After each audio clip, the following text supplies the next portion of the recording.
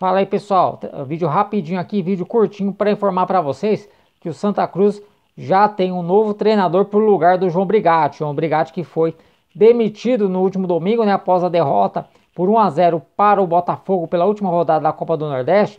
Nesta terça-feira, o time pernambucano acertou a contratação do técnico Alexandre Galo. Alexandre Galo, que até recentemente estava dirigindo o Botafogo de Ribeirão Preto.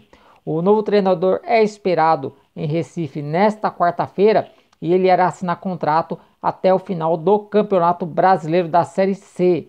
E a estreia no comando do time deve acontecer já neste final de semana no clássico contra o Náutico pelo Campeonato Pernambucano. Lembrando que o Santa Cruz nesta terça-feira perdeu para o Cianorte por 1 a 0 e está eliminado da Copa do Brasil. Valeu!